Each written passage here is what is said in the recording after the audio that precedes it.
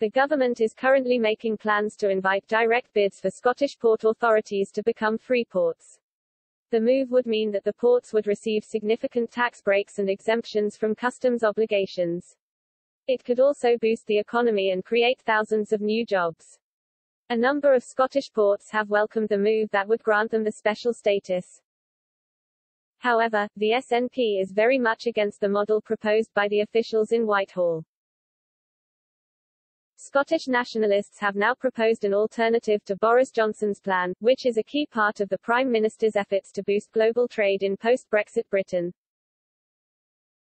The Scottish politicians want to rebrand the ports as the so-called green ports, which they claim would have higher environmental and employment standards. However, according to the Telegraph, the SNP demands are seen as superficial in London and part of a ploy that would allow nationalist ministers to claim credit for the economic benefits a largely Treasury-funded project will bring. More discussions are set to take place between the UK and Scotland this week.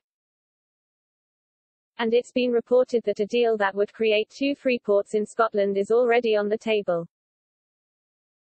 However, Boris Johnson and his government are now planning to cut the SNP administration out of the decision process and create Scottish free ports unilaterally.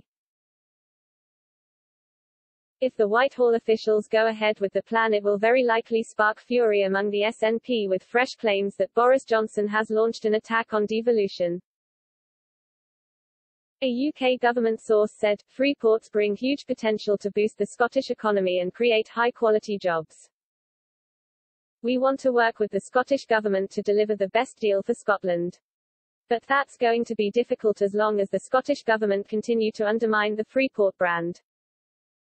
As things stand, it appears the Scottish Government is seeking to manufacture a constitutional row rather than work with us on what's best for the economy. Scotland's economic recovery is too important to be derailed by irresponsible nationalism.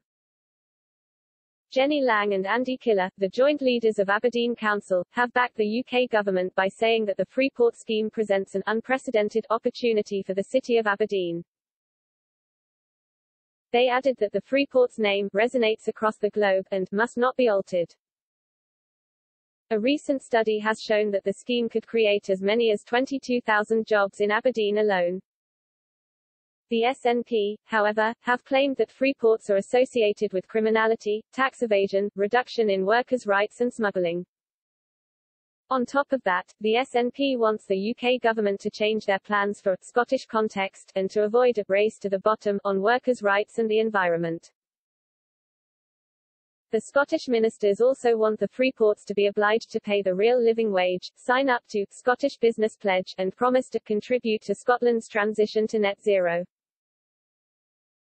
Boris Johnson's government wants a UK-wide system and says that the SNP demands are irrelevant as free ports will create thousands of high-quality jobs. The UK government does have the power to establish free ports without the consent of the Scottish government. However, the SNP could block any new developments by using their powers over planning. A spokeswoman for the Scottish Government said, the Scottish Government remains committed to working in partnership with the UK Government, however we cannot sign up to a UK policy which does not respect devolution, undermines the Scottish economy and fails to provide equivalent funding to what is on offer for ports in England. We need the UK Government to work with us to ensure their proposals best meet the needs of business and communities in Scotland. Should the UK government move forward with a proposal that does not include a commitment on fair work and net zero, the Scottish government will not support this initiative.